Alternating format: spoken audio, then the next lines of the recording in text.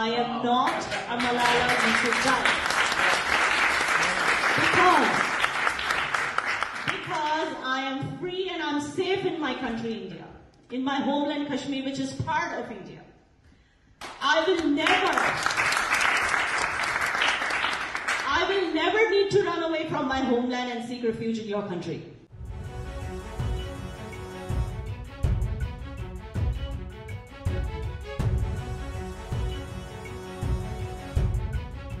Am free and I'm safe in my country,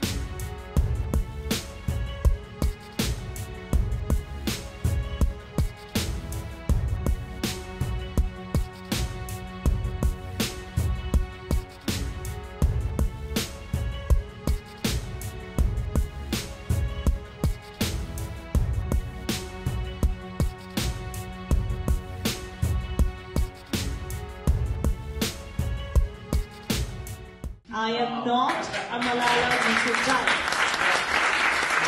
Because, because I am free and I'm safe in my country, India, in my homeland Kashmir, which is part of India. I will never, I will never need to run away from my homeland and seek refuge in your country, honorable MPs. And hence, I will never even ever be a Malala Yousafzai. But,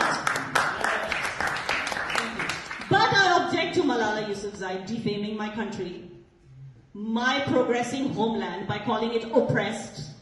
I object to all such toolkit members on social media and from foreign media who've never cared to visit Indian Kashmir, but fabricate stories of oppression from there. I urge you all to stop polarizing Indians on grounds of religion. We won't allow you to break us. This year on Sankalp Divas, uh, all I hope for is that our perpetrators living in UK and Pakistan will stop maligning my country in international media, on international human rights forums, stop unwanted selective outrage, stop trying to polarize Indian society remotely from your cozy UK living rooms. Thousands of Kashmiri mothers have lost their sons already because of this dark hole of terrorism. Stop coming after us. Let my Kashmiri community live in peace. Thank you and Jai.